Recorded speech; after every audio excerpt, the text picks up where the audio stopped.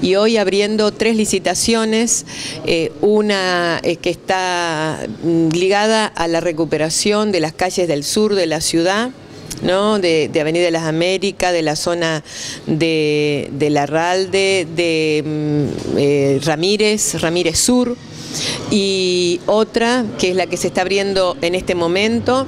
eh, que, bueno, que está referida a la recuperación, ampliación, eh, ampliación realmente con, cordón cuneta, con, con, todo lo que sería la, la, compactación de zonas que tienen desmoronamientos en calle Blas Parera, desde Don Bosco hasta el más fuerte y también eh, de calle Don Bosco. Y realmente yo creo, bueno, falta otra, otra licitación, estamos hablando de licitaciones de en torno a los 30 millones de pesos, eh, las ofertas hasta ahora que se han presentado se acercan mucho o están eh, creo que, en consonancia con el precio oficial del proyecto que calificó Vialidad Provincial, así que tenemos muchísima expectativa de que definitivamente esto contribuya a que en estos frentes de obras abiertos, dentro de, poco tiempo, más eh, las cuadrillas municipales trabajando,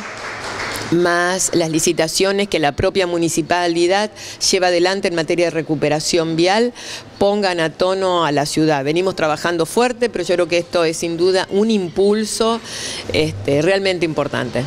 Por un lado, eh, bueno, eh, la importancia y sobre todo que tiene hoy en día estas zonas eh, de la ciudad, la zona sur y también una apertura importante hacia la ciudad como es la zona de Avenida Blas Parera. Y bueno, la selección y el acuerdo que hicimos con Vialidad es justamente la selección de los grandes corredores que tiene la ciudad y que en muchos casos lo que requieren es eh, ampliación de, su, digamos, de la dimensión que tienen las calles, son en muchos casos calles angostas, con mucha demanda de tránsito pesado, están incluidas en el diseño para tránsito pesado que ha hecho la Municipalidad de Paraná, sin embargo, este, están demandando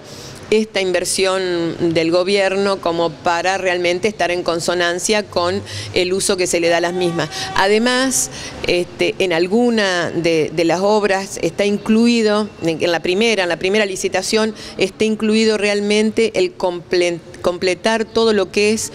eh, la circulación eh, de ingreso y salida de la ciudad por la zona sur y también por el este, porque eso es el caso, por ejemplo, de calle Blas Parera o de calle Rondó, que son calles del este de la ciudad, pero son calles muy importantes y con inversiones que requieren porque están en las cercanías de cuencas, porque como les decía, ha tenido este, desmoronamiento o está comido el pavimento por el desgaste, porque no cuentan con cordón cuneta, porque necesitan ser ampliadas. Así que estas obras no realmente son obras muy, muy importantes que van a